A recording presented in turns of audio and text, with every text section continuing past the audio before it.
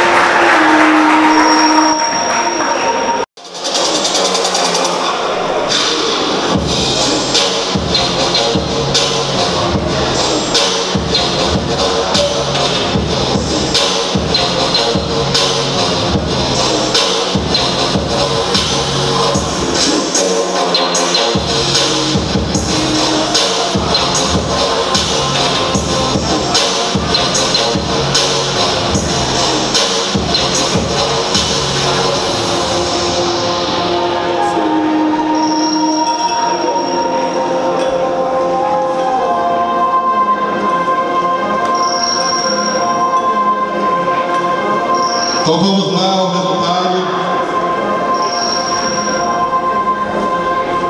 O resultado dessa luta, esse grande combate, ficou com empate majoritário.